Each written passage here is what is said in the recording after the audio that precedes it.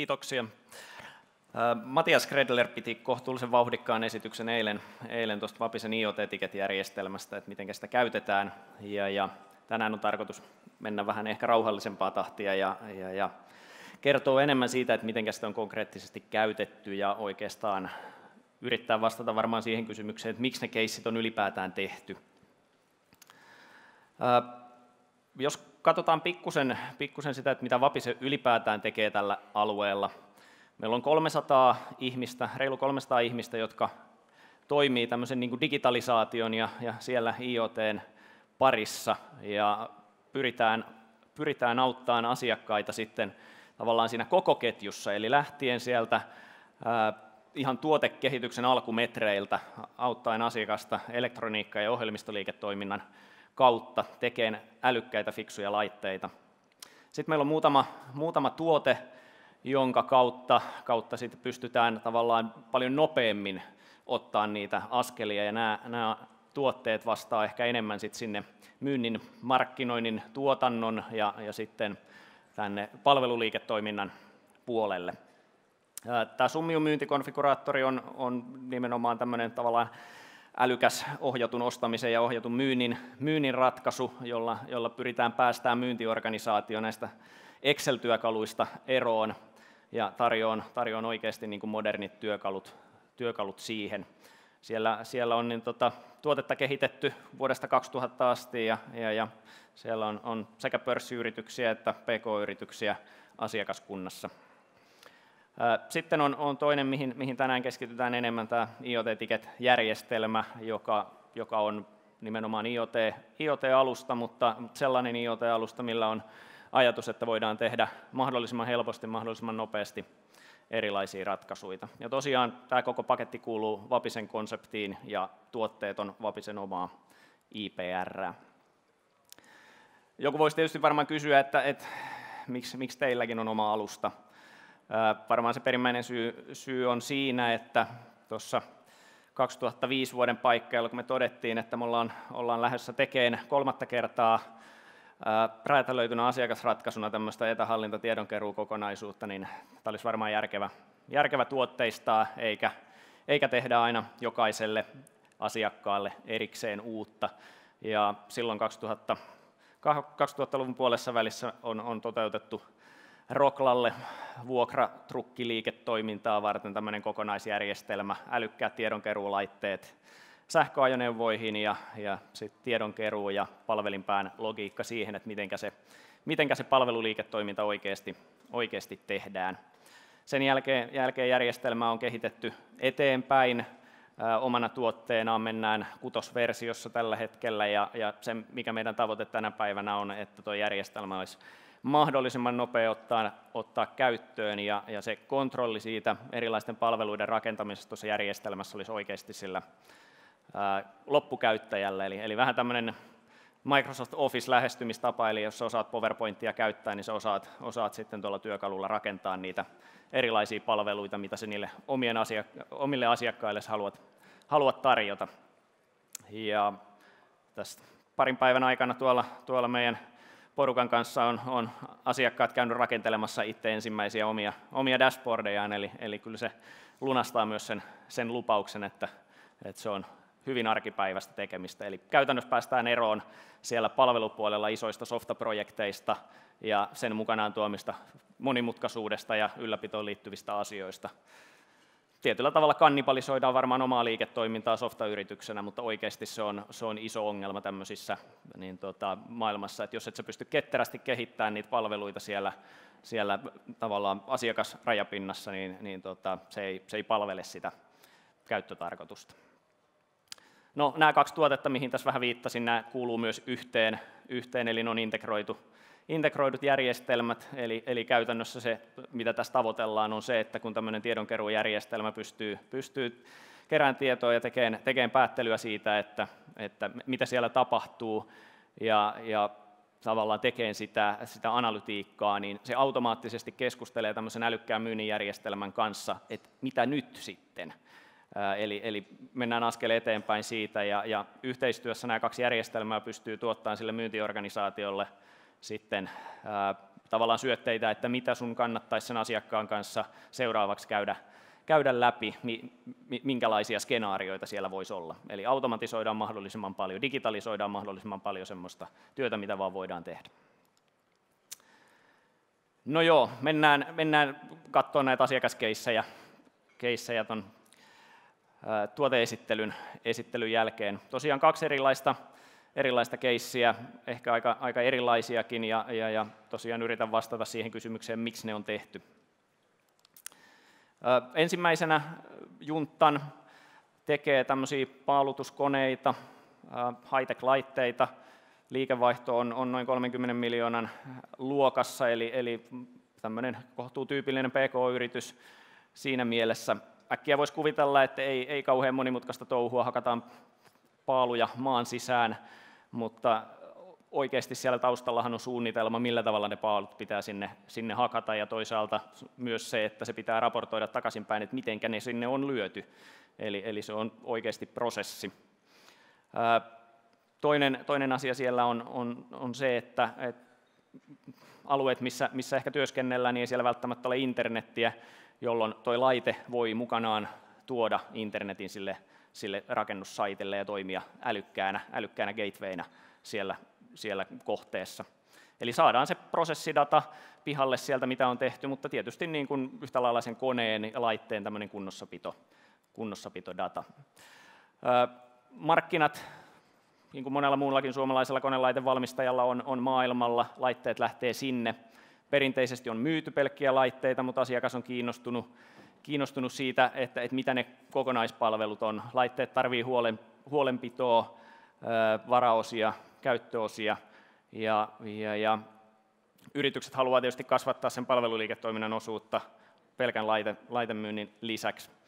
Ja, ja kysymyksen nousee varmaan se, että kuka sen hoitaa, hoitaa siellä kohteissa.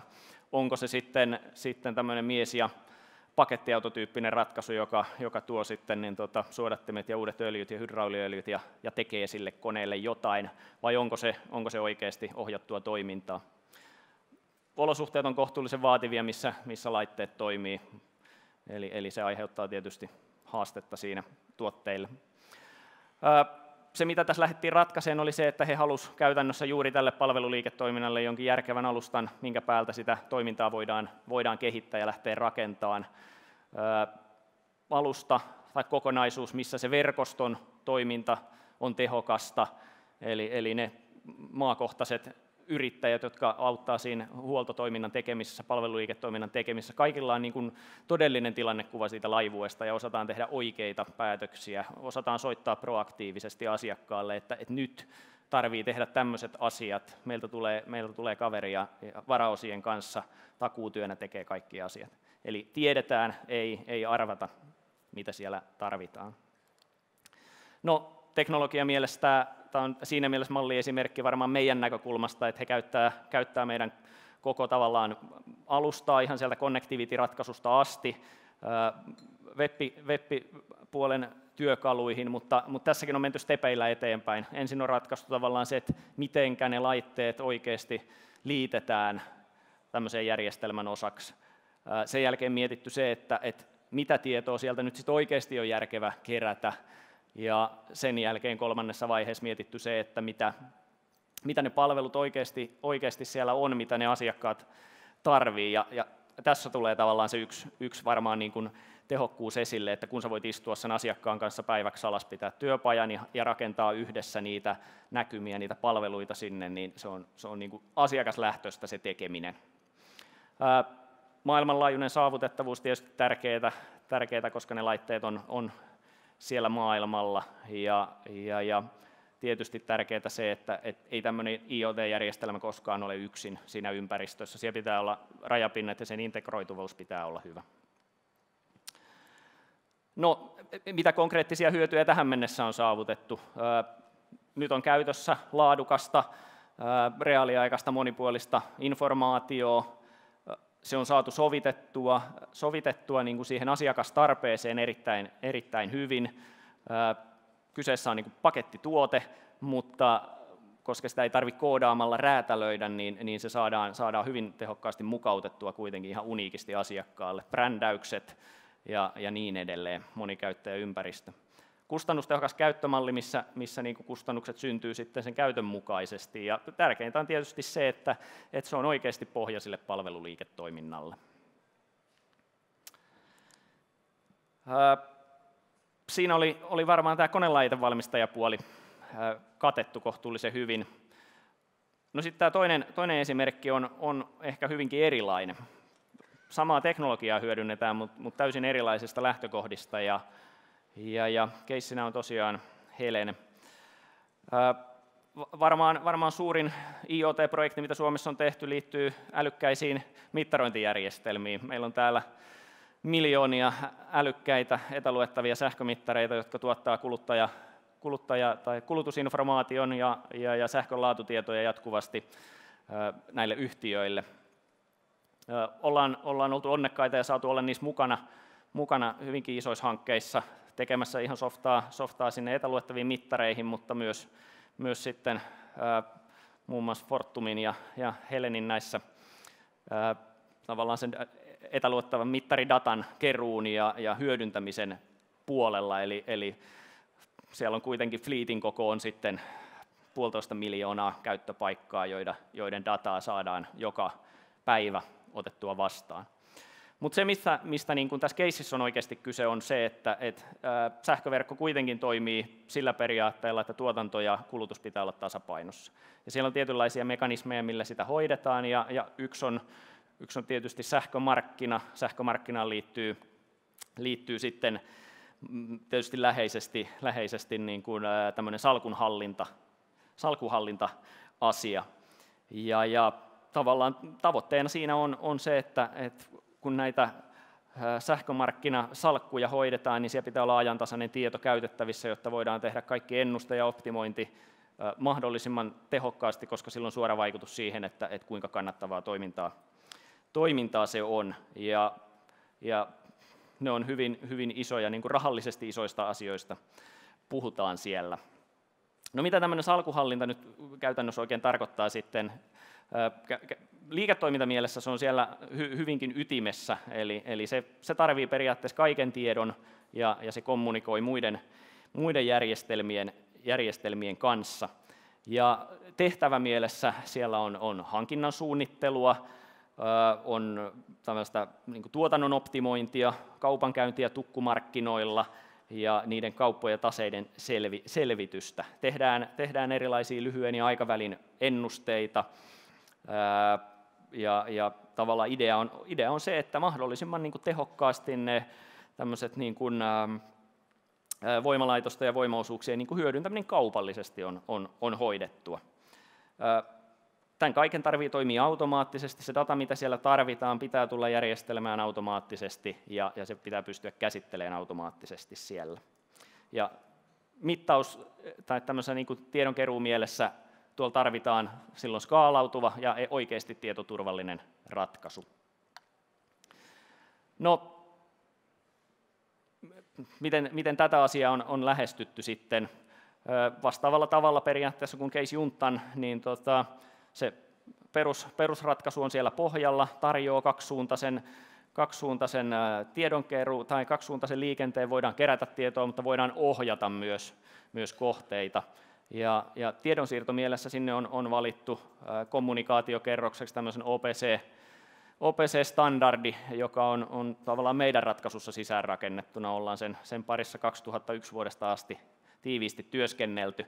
Ja tästä OPC-Uasta varmaan kertoo vähän se, että, että saksalaisessa Industry 4.0 referenssiarkkitehtuurissa kyseinen, kyseinen standardi on, on valittu käytännössä niin kuin ainoaksi oikeaksi tavaksi tehdä se kommunikaatioleijeri.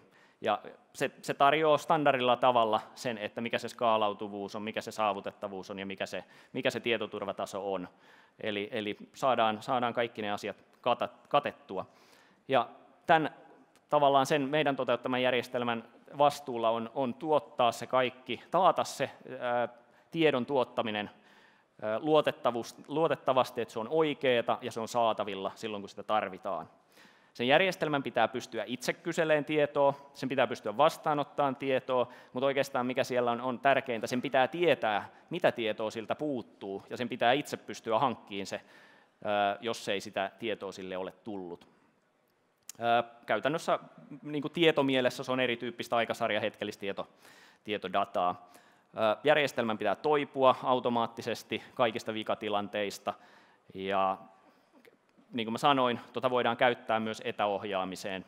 Markkinalla puhutaan tämmöistä kysyntäjoustosta, eli, eli voidaan, voidaan vaikka tuotantoa tai kulutusta etäohjata, voidaan lähettää komentoja sille, että tarvitaan lisää tehoa, tai voidaan lähettää kulutuskohteeseen komento, että, että tiputetaan tehon kulutusta, jolloin saadaan, saadaan tämmöistä säätö, säätöpuolta.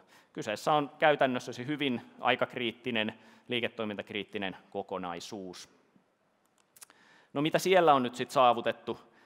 Ää, saavutettu ää, on, on käytännössä se, että, että se tieto, mitä se salkuhallinto tarvitsee, niin se saadaan, saadaan niin kuin taattua, että se tuotanto- ja kulutustieto on siellä olemassa ja voidaan hoitaa ne asiat, asiat menestyksekkäästi ja virheettömästi siellä. Ne tiedot pitää saada tietysti kattavasti, ne pitää saada oikea-aikaisesti. Käytännössä se aikaikkuna, missä, missä toi homma pitää toimia, on, on muutamia minuutteja jokaisen tasatunnin jälkeen. Ja siitä ei voi niin kuin lipsua, koska käytännössä mihin se johtaa on se, että se mitä sieltä pyörähtää pihalle, niitä tuloksia käytetään, käytetään sit oikealla sähkömarkkinalla siihen operaatioihin, että myydäänkö, ostetaanko sähköä, minkäla- tai energiaa, minkälaisilla hinnoilla se tehdään. Siellä on oikeasti rahaa, rahaa pelissä. Optimointimielessä tietysti sen, sen kaiken, kaiken tiedon pohjalta voidaan, voidaan sitten tehokkaasti tehokkaasti niin kuin tehdä optimoituja ajosuunnitelmia, että mitenkä, mitenkä niin kuin saadaan paras mahdollinen hyöty siitä vaikka voimalaitosinvestoinnista irti, varsinkin tämmöisillä, tämmöisillä energiahinta-ajoilla tai energian hintatasoilla, mitä, mitä tällä hetkellä on, niin, niin tuota, erittäin, erittäin tärkeää. No, täällä ei kauheasti ole varmaan esimerkkejä, niin kuin, tai ei ole helppo antaa esimerkkejä siitä, että mitä se tämmöinen markkinahäirikkyys voisi sitten olla. Energiapuolella tietysti on, on aika isoja muutoksia, muutoksia tuossa koko ajan. Meidän energian tuotantomallit muuttuu enemmän ja enemmän varmaan tämmöiseen uusiutuvaan suuntaan, mikä johtaa siihen, että, että on, on niin kuin ehkä enemmän tai vähemmän tämmöistä säädettävää tuotantoa ja pitäisi olla enemmän säädettävää kulutusta, mutta mutta niin kuin se, mikä tässä on ehkä, ehkä iso muutos, on se, että, että kuluttajista voi tulla tulevaisuudessa myös tuottajia tälle markkinalle. Voi syntyä erilaisia mikroverkkoja, voi syntyä jotain virtuaalivoimalaitoksia, dynaamisia puuleja, ja tämä on nyt jotain sellaista, mikä, mikä on niin kuin myös muiden käsissä kuin pelkästään perinteisten verkkoyhtiöiden tai sähköyhtiöiden käsissä. Eli täällä, täällä on mahdollisuus tämmöiseen markkinamullistukseen, mutta se, että, että mitä, se, mitä se käytännössä sitten tarkoittaa, niin se varmaan odottaa niitä hyviä ideoita, ideoita sieltä, vaikka nyt startupeilta tai keneltä, keneltä tahansa, että mitä, mitä tämä voisi olla. Mutta tämmöisille oikeasti dynaamisille toimijoille se avaa, avaa nyt mahdollisuuden, mitä, mitä tuossa energiamarkkinassa tapahtuu. Vaikka se on aika vahvasti reguloitu ympäristö, niin kuitenkin. Siinä oli kohtuullisen pikaisesti käytynä läpi kaksi, kaksi tuommoista case-esimerkkiä, missä ollaan oltu, oltu mukana ja, ja tavallaan ni, niitä hyötyjä, mitä siellä, siellä on, on saavutettu ja miksi ne on tehty. Ei ole tehty pelkästään teknologian ilosta, vaan, vaan oikeasti siellä on, on joku hyvä idea ollut takana. Kiitoksia.